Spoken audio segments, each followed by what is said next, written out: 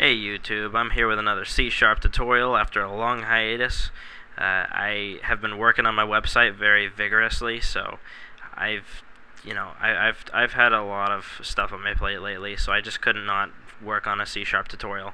And it's just taken so long, but I know a lot of you have been requesting it, and now it's finally here. Another C-sharp tutorial. I'm also tossing around the idea of redoing my first eight tutorials in HD, like I'm doing this one now. And I'm going to go into more depth because I understand C-sharp a little bit more than I did back whenever I first started making these tutorials.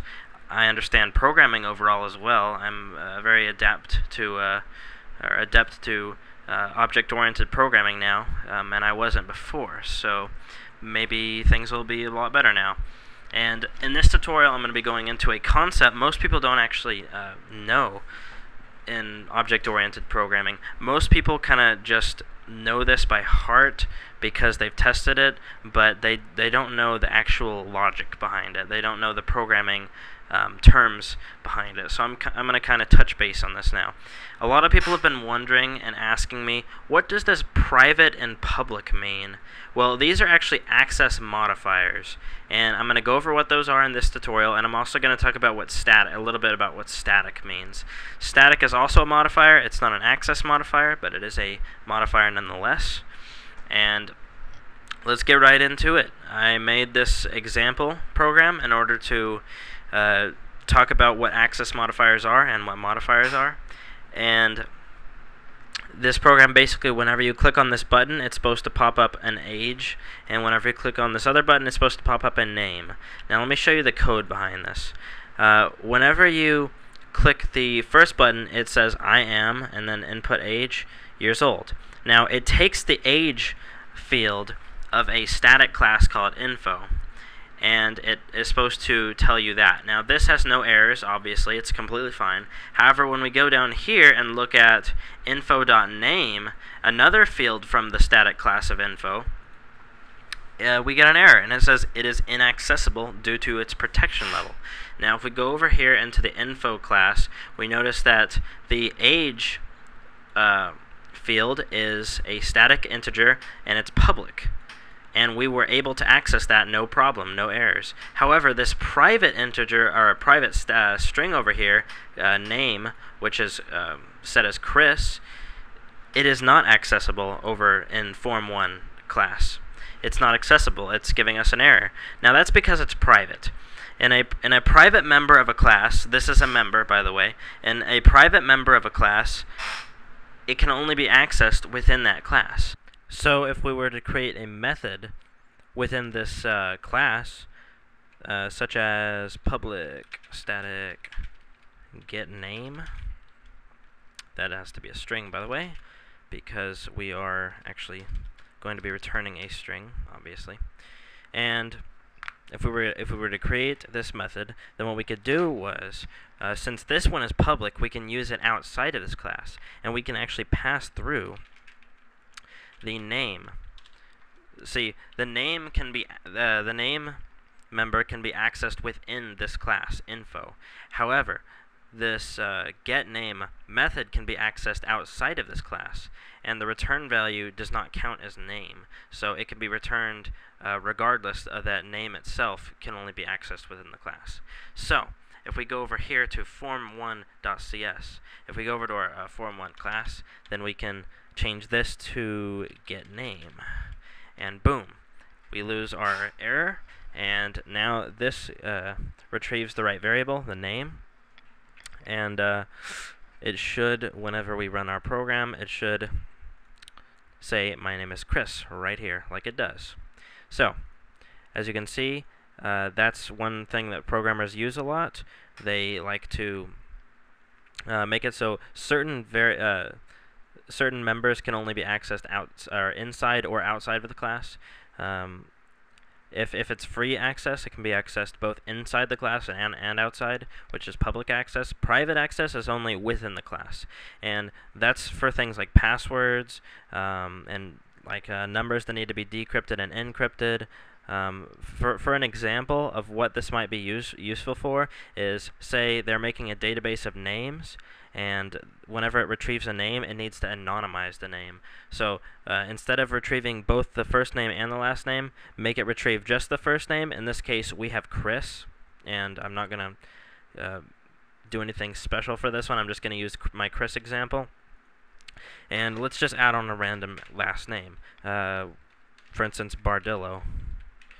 So now instead of retrieving just Chris, it'll retrieve Chris Bardillo. See, my name is Chris Bardillo. So uh, that's just that's just one thing that they could do. It's just an, an example. Um, in a lot of cases, you'll find that you don't want people to have, uh, you know, basic access to a variable outside of the class.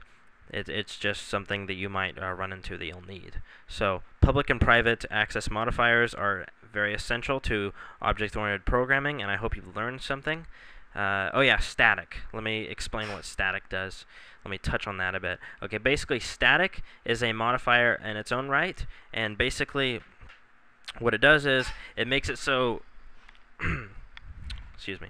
It makes it so say we have a, uh, a static class right here basically what that does is it makes it so you can only you can you can't make instances of this class. You can't make a new info instance. So if I were to click this button, I couldn't do something like um, info new info is equal to new info I can't make an instance of that class. If, if you've watched my previous tutorials, you will have learned what an instance is.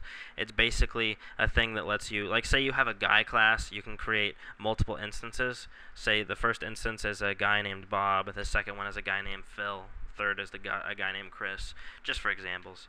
And uh, if it is a static class, then you cannot create new instance of instances of it.